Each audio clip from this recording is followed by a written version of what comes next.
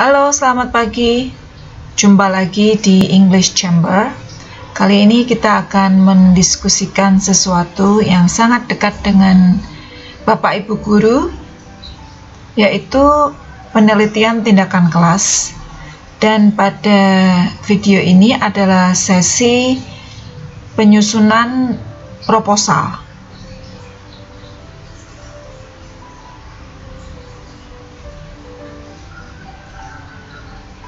Sebelum kita pelajari mengenai bagaimana menyusun proposal yang sederhana, mudah, namun dapat mencapai tujuan kita, mari kita pelajari dulu mengenai apa itu PTK. Sedikit saja mengenai PTK karena Bapak Ibu pasti sudah mendapatkan uh, banyak sekali penjelasan mengenai PTK dari buku-buku maupun seminar, webinar, pelatihan, begitu ya. Hanya sekedar mengingatkan bahwa PTK adalah penelitian tindakan untuk memperbaiki mutu praktik pembelajaran di kelas. Bapak Ibu, sehingga fokus pada proses belajar mengajar yang terjadi di kelas Bapak Ibu sendiri. Jadi ini ada penelitian tindakan ya, ada istilah penelitian tindakan. Jadi Bapak Ibu melakukan sesuatu BTK memuat tindakan nyata yang diyakini lebih baik dari yang biasa dilakukan.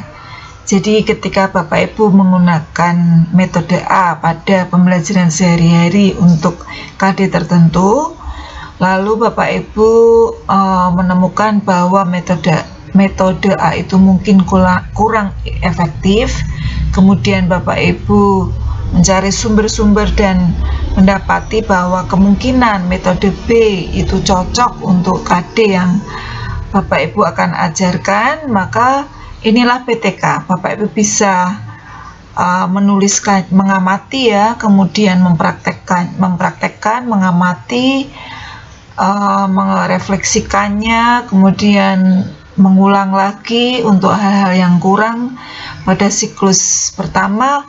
Nah, Bapak Ibu tulis. Nah, itulah PTK. Topik-topiknya banyak sekali Bapak Ibu karena Bapak Ibu guru termasuk saya adalah guru maka uh, Bapak Ibu akan mendapatkan berbagai situasi yang memungkinkan Bapak Ibu tulis di PTK Bapak Ibu, memungkinkan Bapak Ibu lakukan penelitian tindakan lalu Bapak Ibu tulis. Antara lain adalah metode.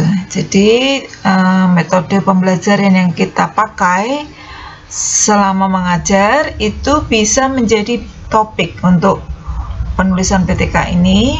Lalu media, ya jika Bapak Ibu kebingungan, uh, saya tidak punya strategi pembelajaran baru yang bisa saya share ke Bapak Ibu guru yang lain uh, atau yang bisa saya terapkan untuk PTK saya. Nah, Bapak Ibu bisa uh, mengambil topik mengenai media yang Bapak Ibu pakai untuk memperbaiki pembelajaran di kelas Bapak Ibu. Lalu yang berikutnya adalah alat peraga. Nah, sama ya, jadi uh, banyak topik yang bisa Bapak Ibu pilih. Di antaranya alat peraga yang Bapak Ibu pakai. Apakah itu alat peraga baru atau modifikasi dalam penggunaannya?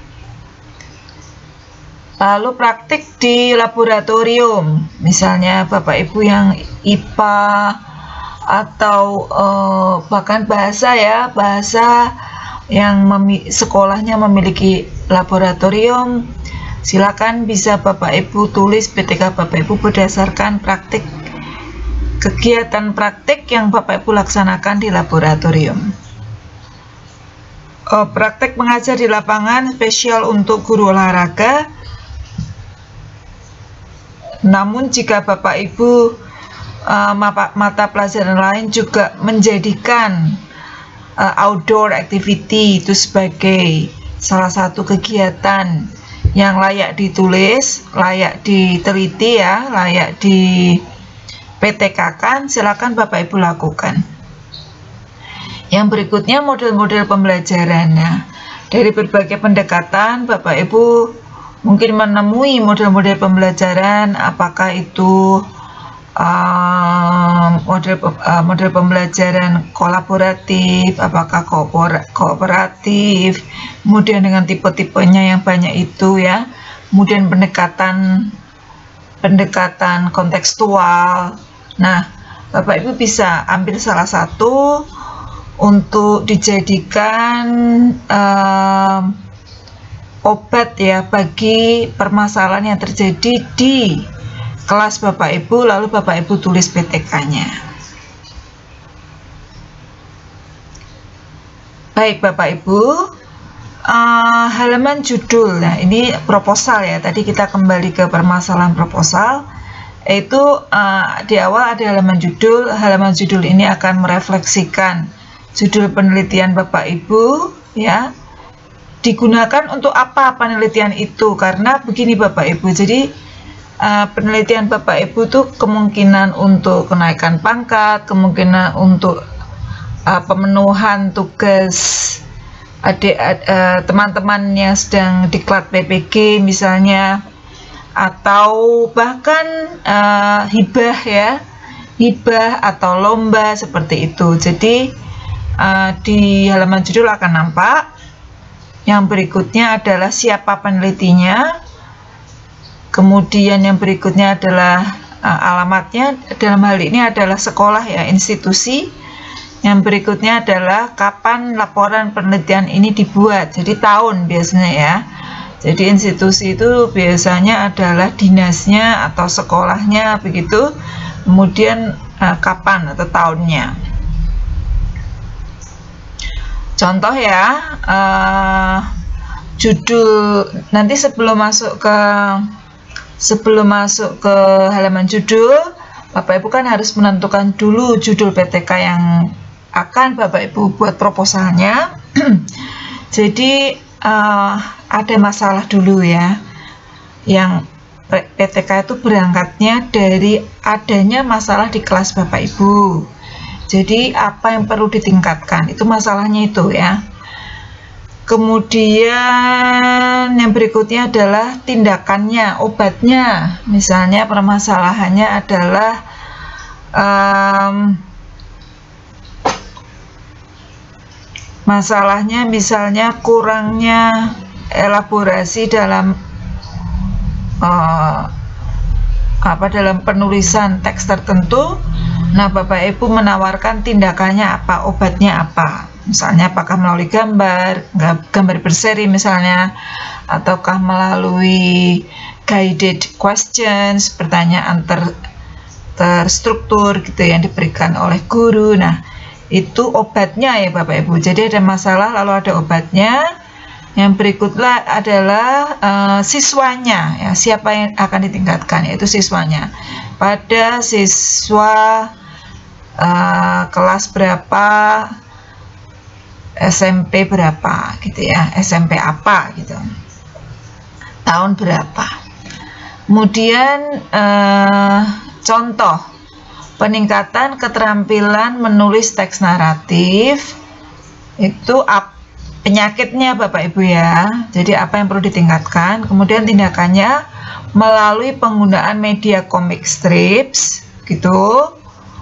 Terus di kelas 8 SMP 8 Semarang tahun pelajaran 2021-2022. Yang sekarang tahun ajaran mungkin ya. Jadi untuk tahun istilah ini nanti Bapak Ibu juga cermati apakah yang sekarang ini seperti apa kalau sekarang ini tahun ajaran ya ikut tahun ajaran kalau tahun pelajaran ya tahun pelajaran begitu Bapak Ibu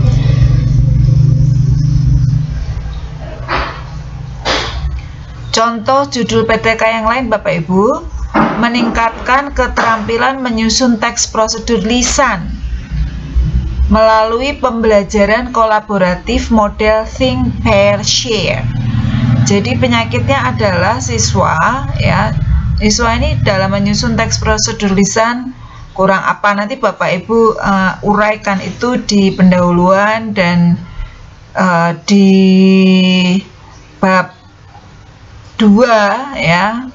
Dan nanti di bab 4 nah itu ada di situ ya kekurangannya apa. Kemudian uh, detailnya ya. Kemudian tindakannya uh, di, diberikan uh, obatnya yaitu kolaboratif ya model think pair share ya. Di pembelajaran kolaboratif itu kan ada macam-macam. Nah salah satu modelnya adalah think pair share atau apalagi banyak ya Bapak Ibu nanti um, cari buku yang berhubungan dengan pembelajaran kolaboratif untuk melihat lebih banyak lagi model-modelnya. Lalu siapa yang akan ditingkatkan ya? Yaitu siswa kelas 9B SMP Negeri 1 Batam tahun ajaran 2020-2021. Contoh judul PTK yang lain, meningkatkan kompetensi menulis short message menggunakan media YouTube pada siswa kelas 8 SMP Majalengka tahun ajaran 2022-2023. Nah, misalnya ini untuk um, apa ini ya?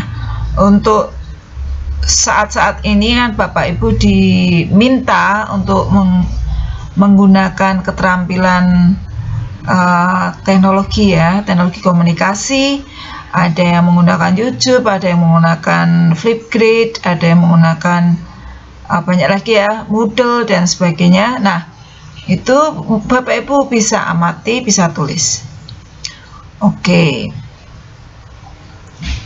Penerapan pembelajaran model problem based learning untuk meningkatkan kemampuan pemecahan masalah pada subbahasan apa, maksudnya X itu apa ya? Pada siswa bla bla bla bla ya.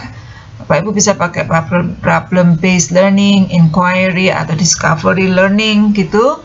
Bapak Ibu bisa tulis untuk KD-KD yang Bapak Ibu ingin tingkatkan. Oke, jadi eh, kira-kira uh, seperti ini judul uh, uh, halaman judul ya. Upaya meningkatkan hasil belajar matematika pokok bahasan SPLDV ini singkatan ya siswa kelas 8 SMP Bina Amal tahun ajaran atau tahun pelajaran 2018-2019 melalui model kooperatif learning tipe make and make a match. Proposal penelitian tindakan kelas disusun untuk mengikuti lomba hibah PTK di mana gitu ya. Oleh siapa? Ini institusinya di bawah seperti itu Bapak Ibu. Tahunnya kapan? Baik, kita lanjutkan. Selanjutnya untuk proposal, Bapak Ibu memerlukan adanya lembar pengesahan. Memuat apa yang disahkan dan milik siapa yang disahkan tersebut, memuat siapa yang mengesahkan dan apa jabatan yang mengesahkan. Ya, jadi eh, kepala ya, kepala sekolah mengesahkan atau ya kepala sekolah biasanya ya. Ini contohnya. Oke. Ini contoh Bapak Ibu ketika saya mengikuti hibah penulisan PTK pada Simeo Kitab in Language. Sekarang kita masuk ke bab 1 yaitu pendahuluan. Nah, ini yang menarik Bapak Ibu. Pada bab 1, Bapak Ibu ada latar belakang masalah Oke. Kemudian identifikasi masalah. Nah, latar belakang masalah itu pada umumnya isinya adalah kondisi ideal. Soalnya Bapak Ibu e, menentukan KDA, KDX gitu ya akan ditulis. Maka Bapak Ibu tentukan e, e, apa ini kondisi idealnya siswa dengan KD ini bisa apa, bisa apa, bisa apa. Kondisi idealnya begitu. Nah, kemudian di bawahnya Bapak Ibu sebutkan kondisi tidak idealnya yang terjadi di kelas Bapak Ibu. Apa yang terjadi di kelas Bapak Ibu ya? Misalnya seharusnya bisa siswa bisa bisa menghitung misalnya bisa menghitung sampai atau bisa perkalian sampai ribuan misalnya. Namun, nah Bapak Ibu katakan namun bla bla bla bla. Jadi ada kondisi ideal pada paragraf 1, kondisi tidak ideal pada paragraf kedua, paragraf ketiganya adalah gapnya gitu ya, gapnya. Maka yang perlu dipecahkan ini loh. Nah, itu diidentifikasi masalah Bapak Ibu. Nah, seperti itu. Jadi ada identifikasi masalah. Kemudian pembatasan masalah. masalah ini hanya untuk uh, siswa kelas sekian di SMP sekian atau semester sekian tahun ajaran sekian. Nah, ini namanya pembatasan masalah uh, KD ini, KD apa gitu ya. Mau pakai subbab juga boleh Bapak Ibu atau sub KD ya, sub uh, di KD kalau KD-nya gemuk, Bapak Ibu bisa ngambil sub dari KD tersebut bisa. Lalu rumusan masalah, kemudian tujuan penelitian, kemudian manfaat penelitian ya. Setelah ada pembatasan, uh, kemudian masalahnya yang mau dipecahkan apa dengan apa gitu ya. Lalu tujuan penelitian ini apa? Itu biasanya menjawab uh, uh, menja uh, menjawab dari rumusan masalah, kemudian manfaat penelitian ini bagi guru, siswa, institusi seperti itu. Contoh pendahuluan Bapak Ibu. Latar belakang. Ini yang saya sampaikan tadi kondisi ideal yaitu uh, saya mencontohkan di SMP itu adanya tax recount. Lalu saya sebutkan tax recount itu seperti apa. Singkat saja ya Bapak Ibu ya. Tax recount itu seperti apa. Uh, saya sampaikan bahwa tax recount itu penting ya. Dalam hal ini saya menyebutnya menarik gitu ya. Uh, menarik karena fungsinya apa dalam kehidupan siswa gitu.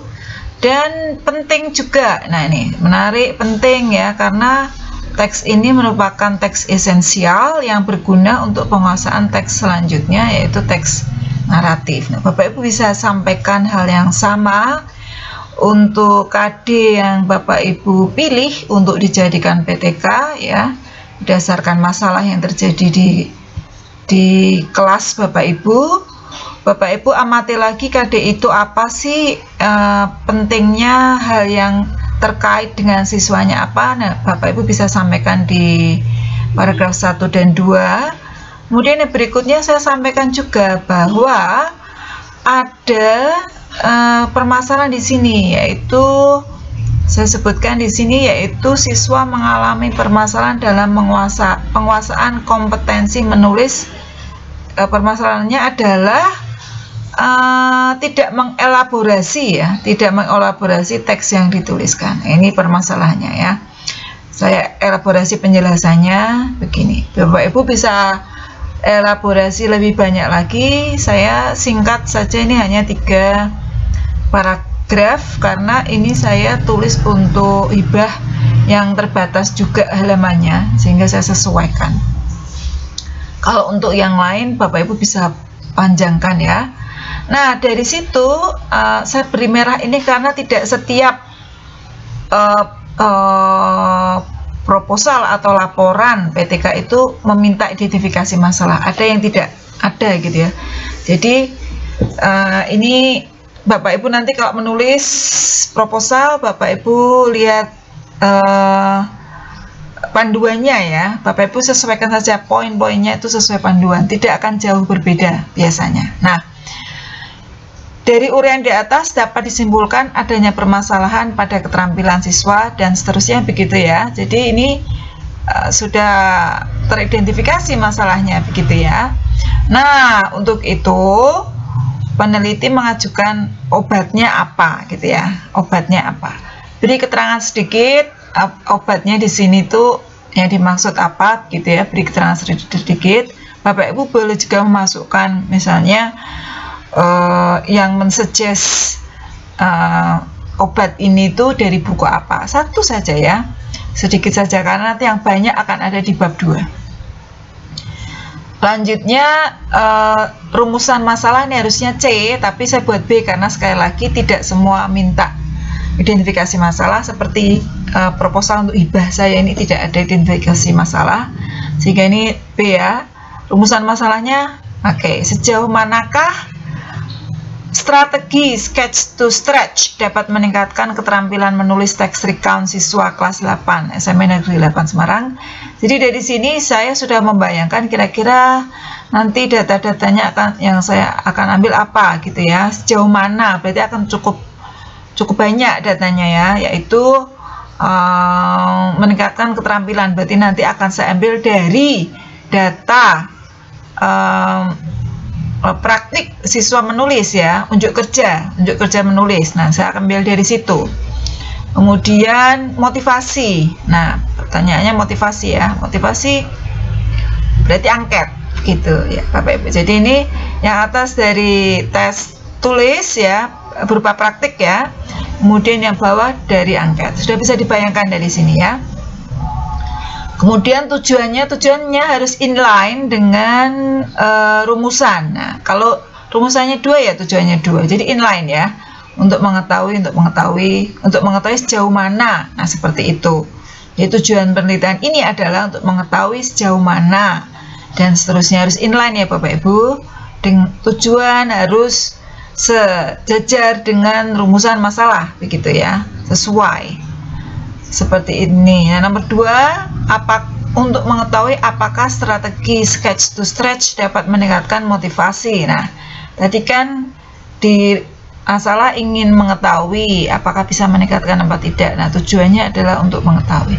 Lalu manfaat ini bisa dipecah-pecah lagi menjadi siswa, guru gitu ya. Tapi sekali lagi ini karena terbatas halaman untuk proposal hibah saya, maka saya singkat begini dan tidak apa-apa ya.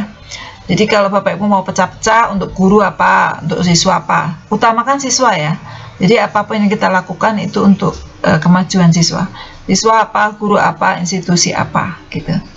Lalu ruang lingkup, nah ruang lingkup ini pembatasan ya. Oke. Okay. Lalu mungkin Bapak Ibu juga diminta untuk membuat definisi operasional.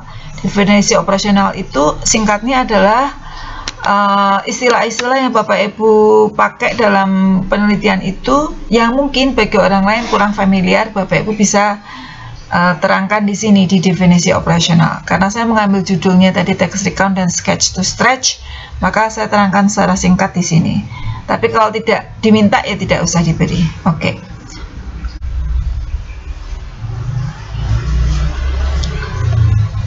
Bab 2, kajian teori dan pengajuan hipotesis.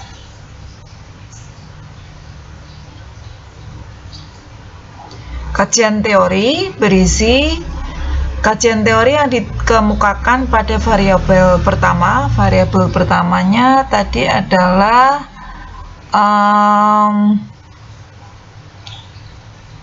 text recount ya. Contoh tadi ya, yaitu untuk uh, keterampilan menulis text recount. Yang kajian teori yang kedua pada variabel kedua, kemudian dan seterusnya. Jadi Bapak Ibu bisa tambahkan banyak sekali sub-subnya. Kemudian bisa juga eh kalau ada nih ya penelitian yang relevan bila ada. Uh, biasanya sudah ada walaupun tidak persis. Nah, Bapak Ibu bisa masukkan itu sebagai salah satu uh, sumber referensi Bapak Ibu.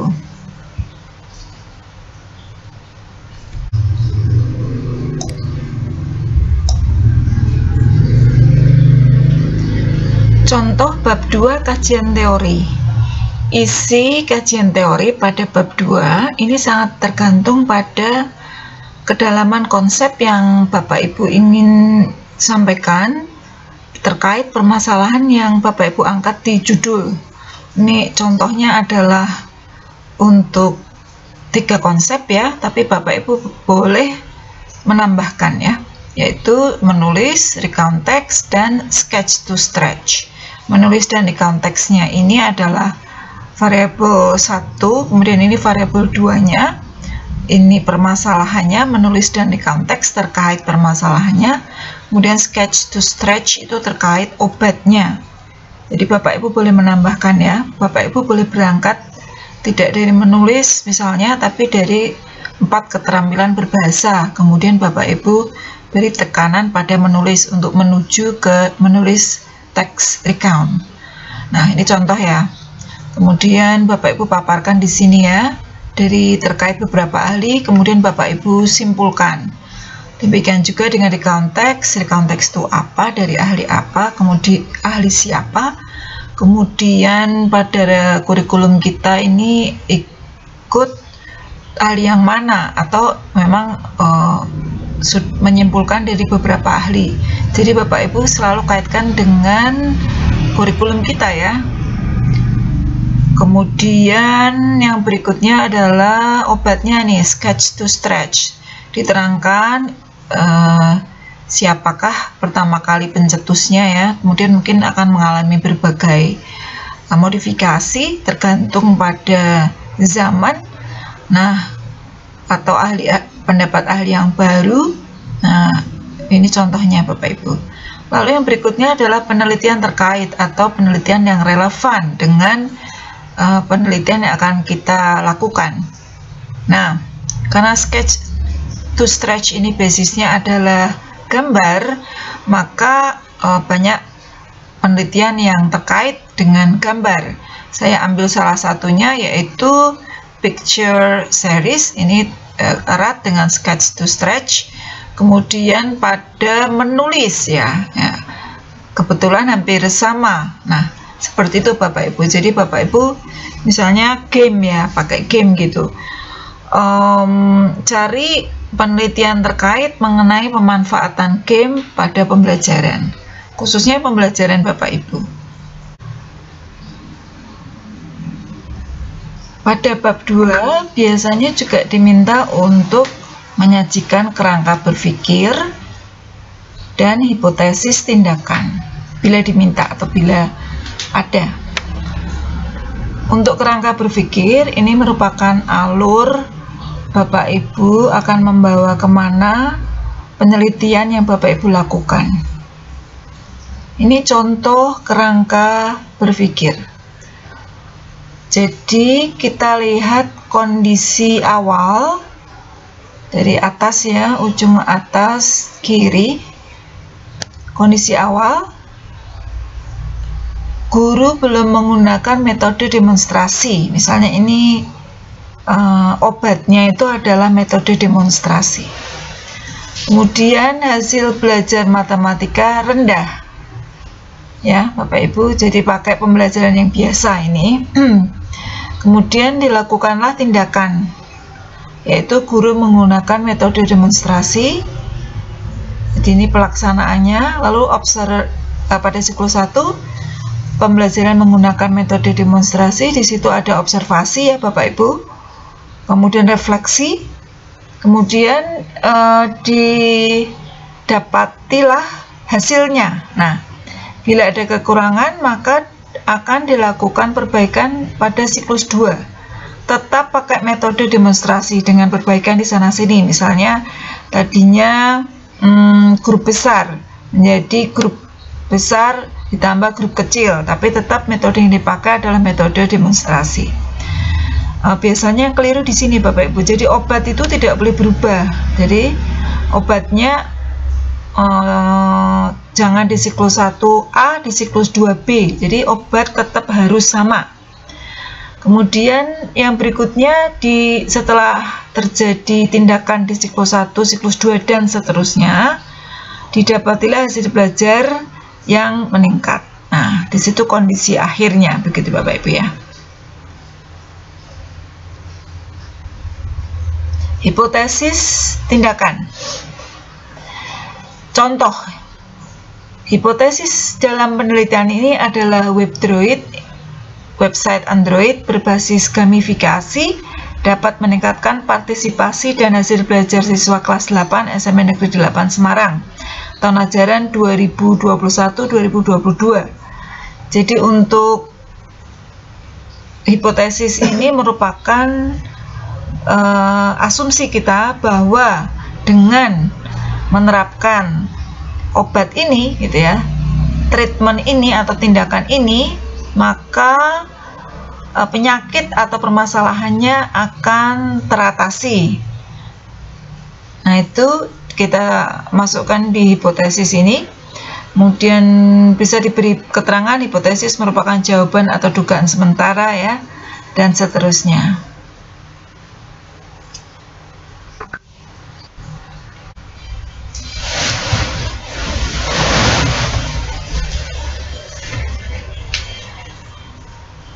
3 Metodologi Penelitian.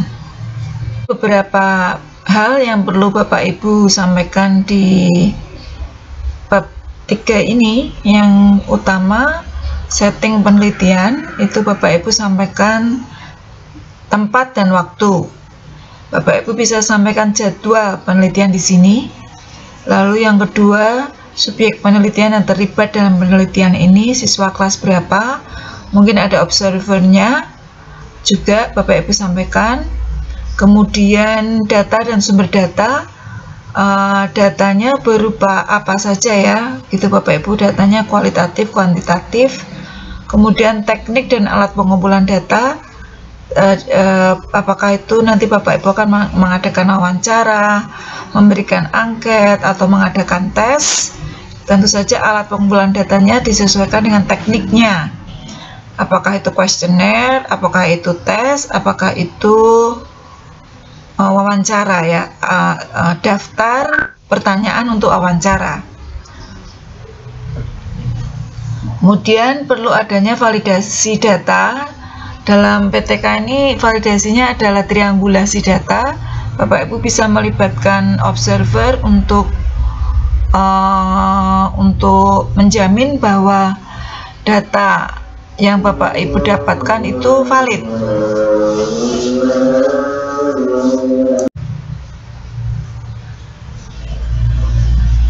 Yang berikutnya adalah analisis data. Apa teknik yang digunakan dalam menganalisis data? Apakah menggunakan analisis statistik atau reduksi data atau deskriptif komparatif atau yang lain? Untuk PTK kita pakai deskriptif komparatif Bapak Ibu karena e, mengcompare dua perolehan data atau dua data yang diperoleh pada siklus yang berbeda. Kemudian berikutnya adalah prosedur penelitian. Uh, apa metode penelitiannya? Kita ambil PTK ya.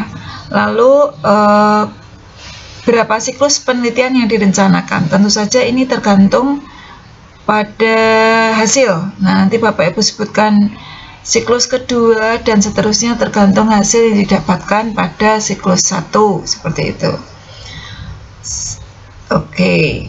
Nah uh, baik. Lalu tahapan tindakan tiap siklus yang dilakukan, Bapak bisa tuliskan siklus 1 ada perencanaan, perencanaannya apa saja, siklus 2 ada pelaksanaan ya, observasi itu eh, pelaksanaan apa saja, kemudian observasi yang terjadi pada waktu pelaksanaan, apa saja yang dilakukan baik oleh peneliti maupun observer dan siswa.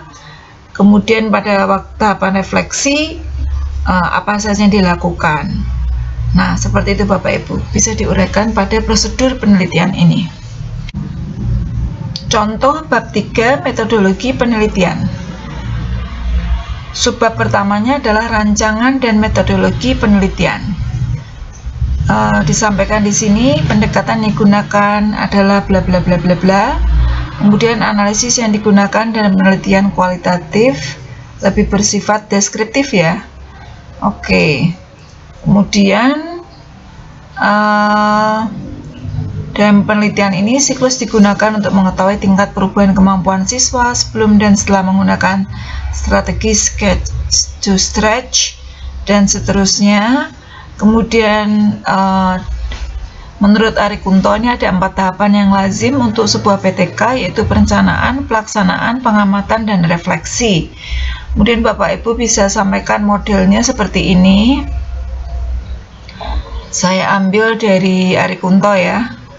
Jadi akan nampak eh, kegiatan di penelitian itu di tiap siklusnya. Di sini disampaikan proses siklus 1 apa saja perencanaan ya Bapak Ibu ya. Lalu pelaksanaan ya Bapak Ibu. Disampaikan ya Bapak Ibu uh, tahap pelaksanaan dibagi menjadi enam pertemuan ya. Jadi berapa pertemuan yang Bapak Ibu rencanakan untuk pelaksanaan itu. Lalu pada saat pelaksanaan ada observasi. Jadi pengamatan dilakukan sewaktu proses pelaksanaan pembelajaran berlangsung. Oke, di di sini sampaikan ya apa yang terjadi pada saat uh, observasi itu berlangsung, apa saja yang dilakukan. Kemudian refleksi.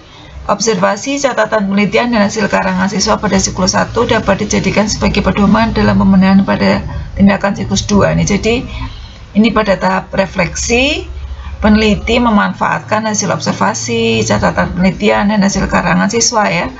itu untuk uh, perbaikan pada siklus 2 jadi satu siklus ini isinya sudah ada hmm, pengambilan nilai juga Bapak Ibu ya.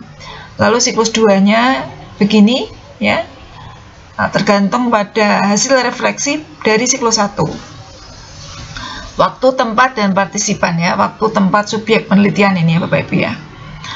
Oke uh, waktu dan tempat. Kemudian subjeknya siapa subjek penelitian.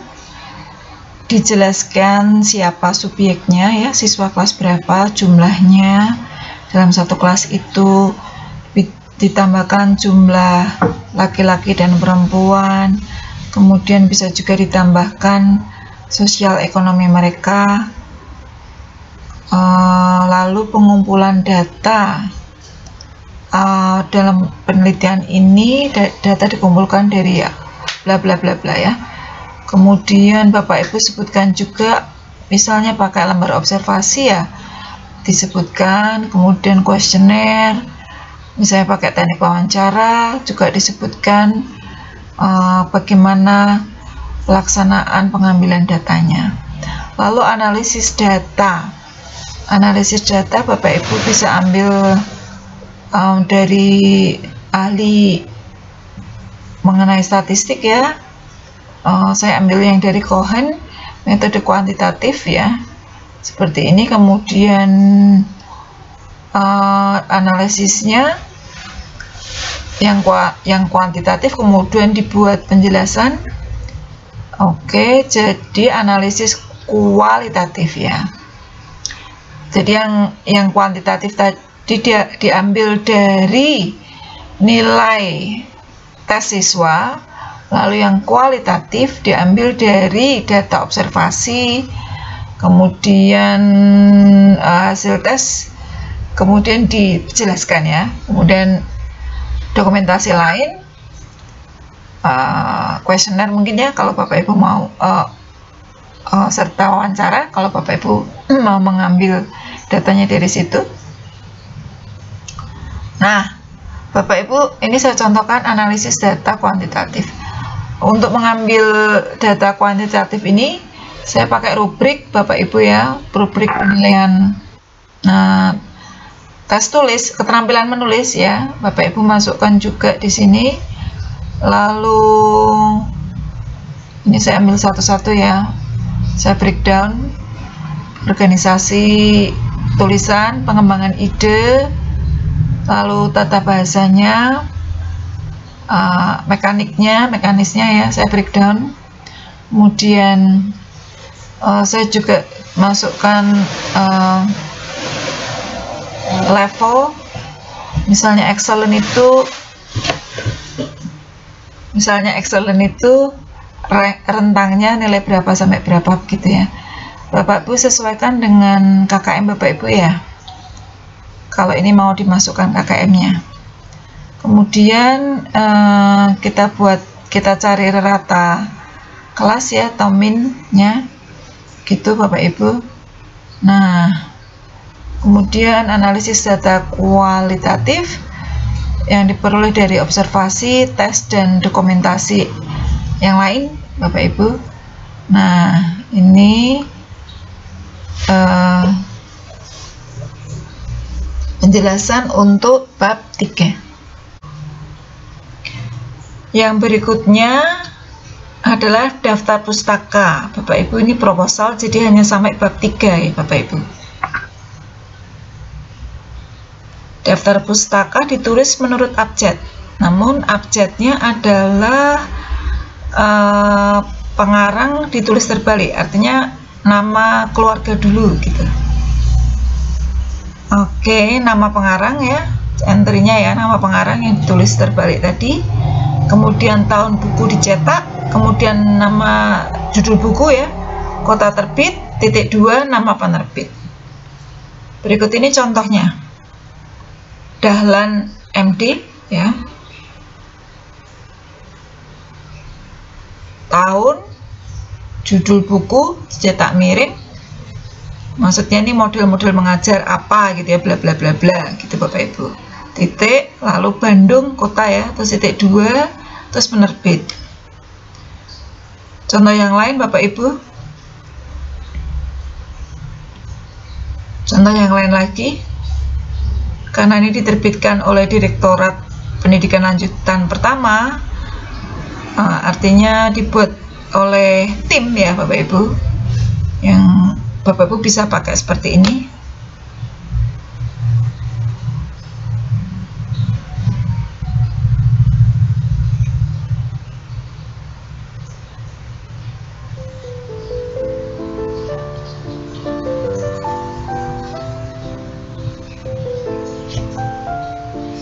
Yang terakhir lampiran-lampiran.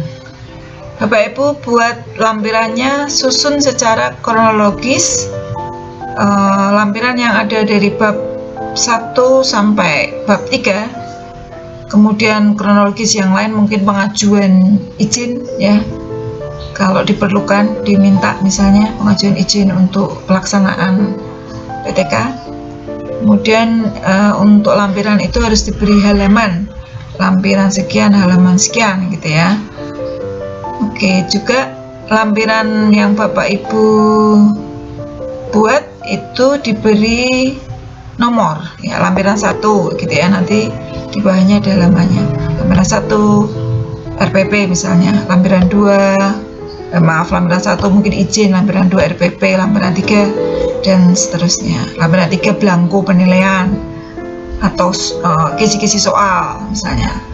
Lampiran kedua eh lampiran ketiga uh, oh lampiran lampiran ke dua RPP lampiran ketiga kisi-kisi soal lampiran keempat um, misalnya rubrik oh, kisi-kisi termasuk rubrik ya. Eh, apa nih daftar siswa begitu dan seterusnya. Yang penting diberi nomor lampiran.